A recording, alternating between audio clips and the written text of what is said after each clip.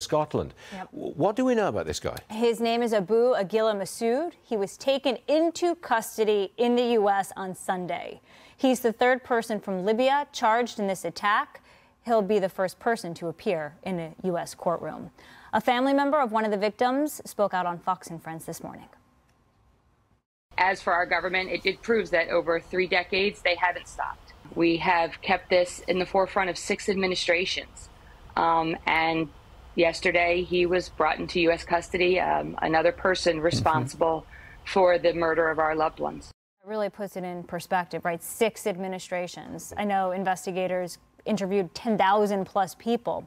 Um, all 259 people on board Pan Am Flight 103 were killed, plus 11 on the ground when the bomb went off over Lockerbie, Scotland. The plane was traveling from London to New York Christmas week back in 1988. It is still the deadliest terror attack on